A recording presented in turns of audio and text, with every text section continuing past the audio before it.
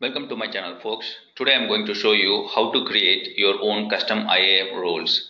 In this example or demo, I'm going to show you how to create a role which your Lambda functions can use and also how to attach policies to that role.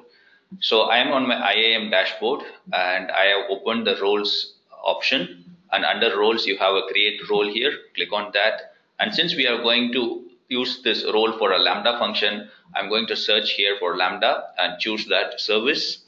So I've, I've chosen Lambda service and all I have to do is click next to add the necessary permissions. So let us say I'm going to use this role for automating my backups or EBS snapshots. Then in that case, I need access for my EC2 services.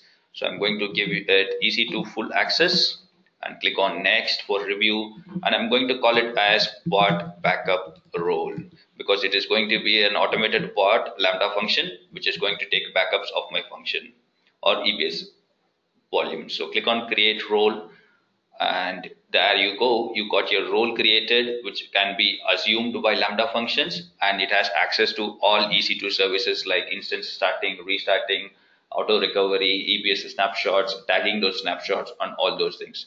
Have fun automating your infrastructure using iam roles thanks for watching